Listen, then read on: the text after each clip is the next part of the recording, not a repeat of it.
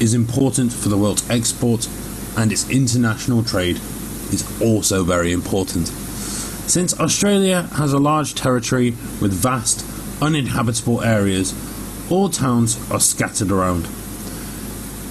This leads to huge expenses for transportation when using trains and ferries. The government also have to pay large amounts for its telecommunications to build up the connection between these regions. The Australian people are mainly living in five cities Melbourne, Sydney, Perth, Brisbane, and Adelaide. The most special one is Perth, which is one of the most isolated cities in the world. However, this does not affect its state to be one of the largest cities in Australia. Most large companies, like the two leading companies, Telstra and Qantas, they are both based in Perth.